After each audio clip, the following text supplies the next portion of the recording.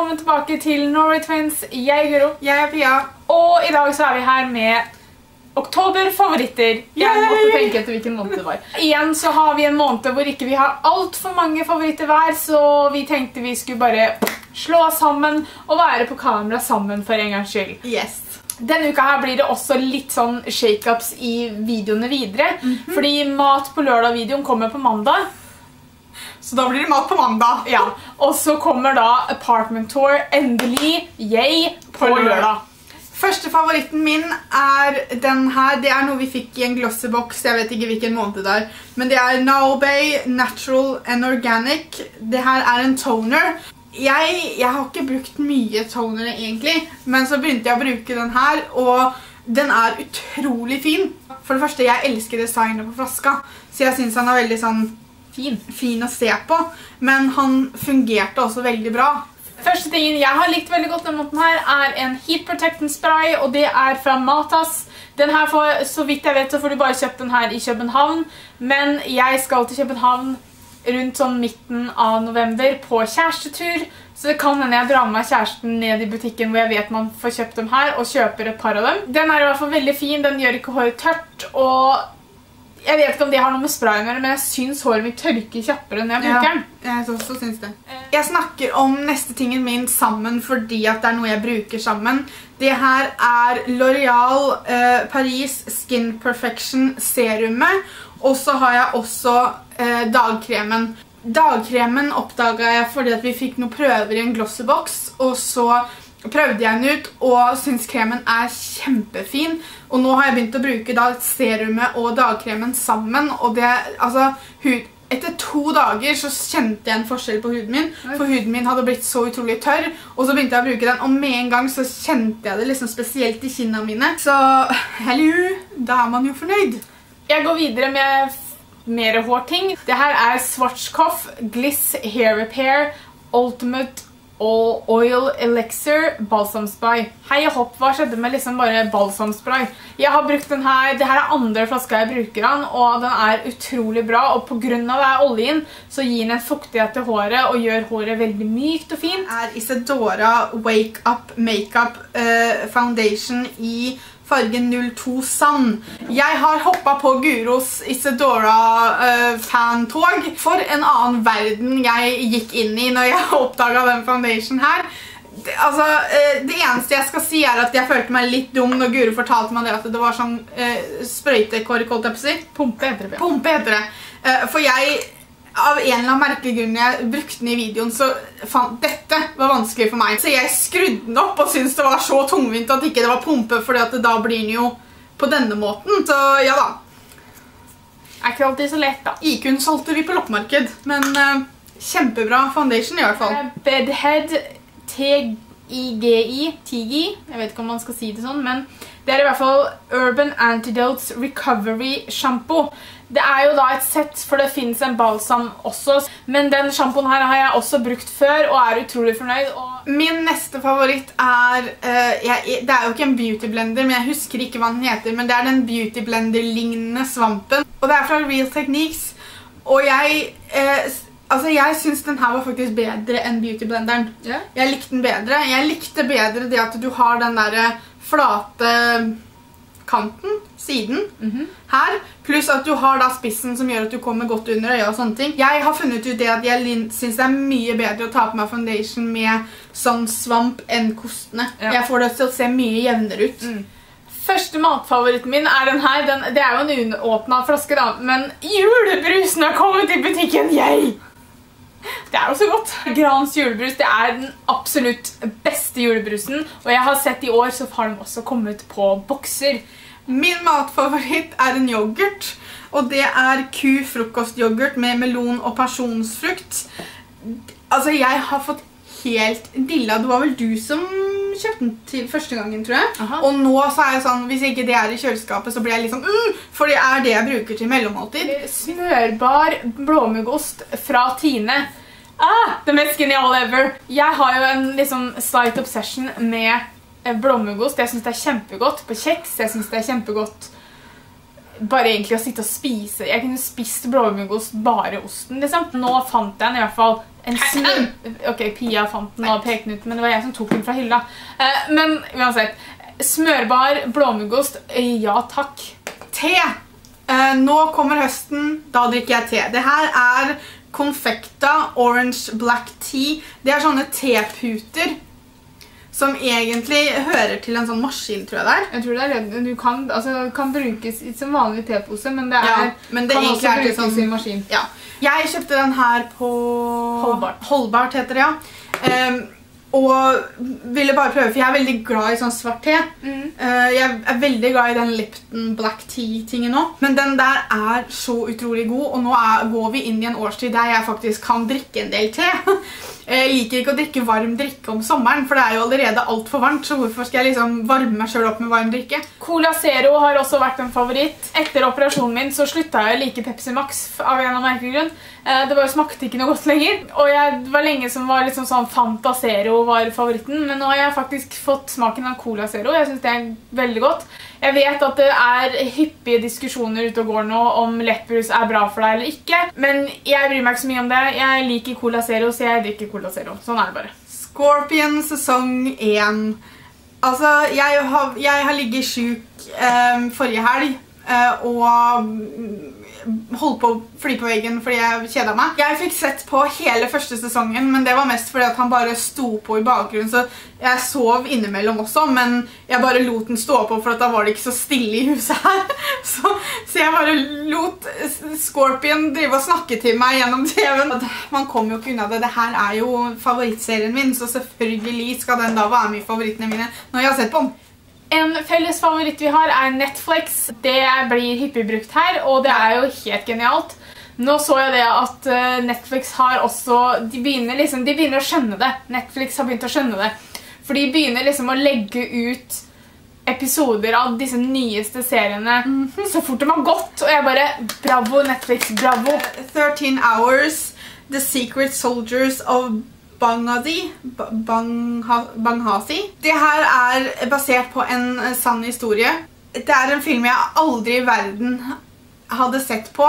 Det er ikke min type film i det hele tatt. Jeg takler veldig dårlig å se på krigsfilmer og sånn. Altså det, jeg, jeg blir så stresset av det og liker Altså, det underholder meg egentlig ikke. Men jeg ville se den her fordi John Krasinski spiller inn, og jeg er en stor fan av han etter at jeg oppdaget han vel egentlig når han spilte i The Office. Helt fantastisk film.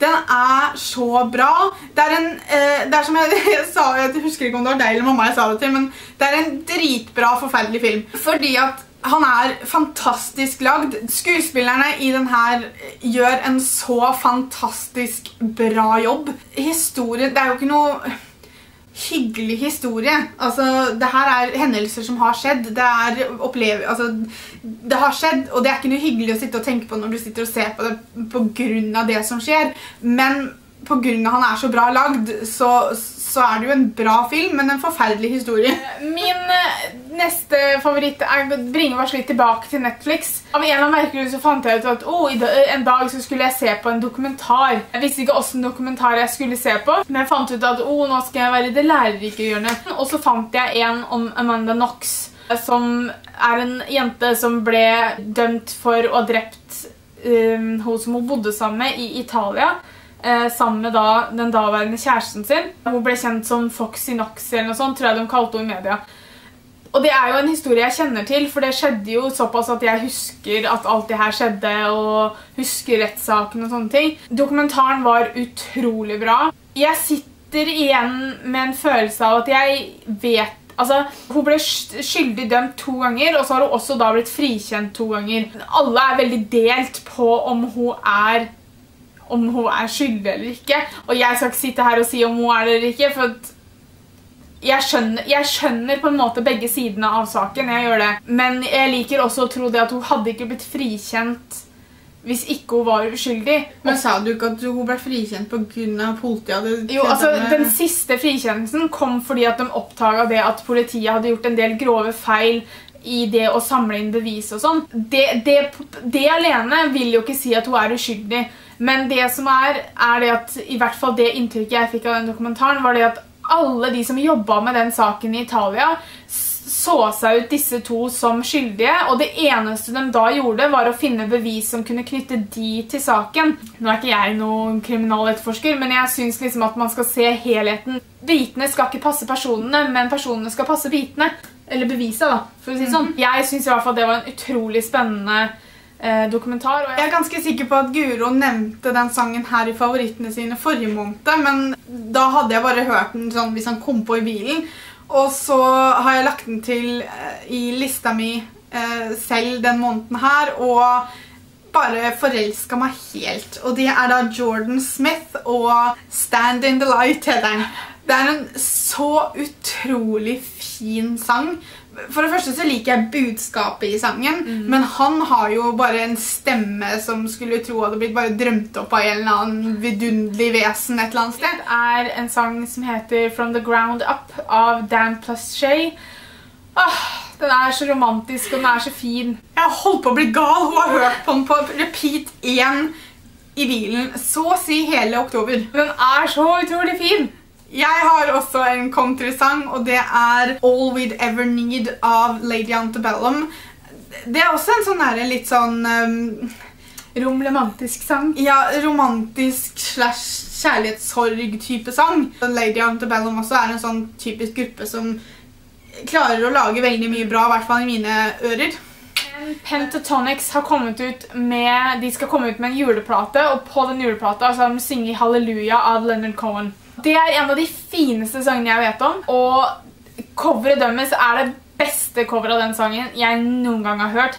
Hands down. Gåsehud herfra til månen, altså. Og videoen nå var utrolig fin og utrolig sånn eh, eh, majestetisk. Er det det Ja, heter? altså det, det var jo en veldig simpel Video, men samtidig Video, veldig kraftfull. storslagen, Ja. vil jeg vel egentlig kalle den. For det er liksom åpne sletter og filma med droner, og det var liksom Ja. ikke måte på, så du får sånn den der wow-følelsen. -hmm. Siste sangen min er Don't Wanna Know av Maroon 5. Oh, det er en felles en. Sangen er veldig, veldig fin. Ja, veldig catchy. Mhm. Fordi vi er kommet til høsten, og det er kaldere, og Guro er en frispinne, så måtte jeg ty til ullsokker den måneden her. De ullsokkene her mener jeg at jeg har kjøpt på Hennes og Maurits, tror jeg.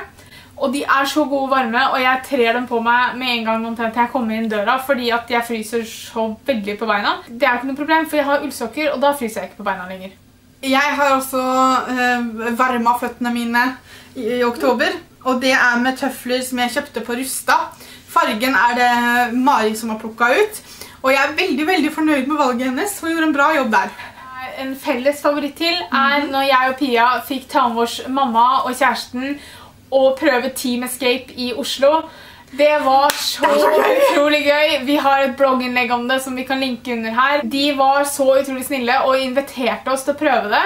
Og vi storkoste oss fra Vi parkerte bilen for at jeg måtte kjøre i Oslo, og da koste jeg meg ikke. Men fra vi parkerte bilen til vi skulle begynne å kjøre hjem igjen, så hadde vi det så utrolig gøy, alle fire. Tingen er at altså, Du får bare en time på deg, og den timen går utrolig fort. Men timen går ikke fort fordi at du blir sånn 'Å nei, vi rekker ikke alt'. Timen går bare altfor fort, for du har det så utrolig gøy. Du vil gjerne holde på så mye lenger fordi du har det så gøy. Ja. Men altså, det er så utrolig gøy. Ja. Gøy, gøy, gøy! Ja, kan vi si gøy flere ganger? Gøy. Enda en felles favoritt er Gobi. Gobi? Gobi. Gobi. Vi sier Det er Gobi. internasjonalt. Ja. Gobi. Det er en eh, social media-app-ting som er sånn bilde... Litt noe à la Snapchat, egentlig. Ja. Bare at her så følger du på en måte grupper, da, sånn at vi har en Norway Twins-gruppe som dere kan følge hvis dere vil det. Vi heter Norway Twins. Alle ser alle bildene som på en måte blir delt der. Så det blir på en måte en sånn samtale mm, blant alle sammen som er med i Norway Twins-gruppa, og det er utrolig spennende, for da kan vi liksom prate sammen alle sammen, og vi legger ut bilder og videoer, og vi prøver så godt vi kan å være flinke til å legge ut ganske ofte, da, vet du, men det er så mye sosiale medier nå, så vi ligger litt ekter. Månedens siste favoritt er James Corden sin Carpool Karaoke sammen med Lady Gaga. Holy crap, dama kan synge. Altså, Jeg visste jo det, jeg har hørt sanger av henne før. Men bare de, noen av de notene som hun bare bø ut i den Det videoen høres ut som jeg må se på den her. Det høres veldig sånn ut, for jeg skal se den en gang til. Så Ok. kan vi se den sammen. Altså, De nyeste sangene hennes har jeg egentlig ikke hørt så mye av. Og det var et par der som jeg var sånn, oh my god, jeg må høre på den, fordi det var, det var i hvert fall en som het et eller annet sånt 10,000 reasons, eller 1 million reasons, eller, ja, uansett, no, et eller annet med reasons. Det var alle favorittene våre den måneden her. Legg igjen en kommentar med noen av favorittene deres, sånn at vi kan se hva dere har likt spesielt godt i måneden som har vært. Tusen takk for at dere så på. Trykk liker hvis dere likte denne videoen her. Abonner for å få med dere flere videoer, og så ses vi i morgen. Ha det!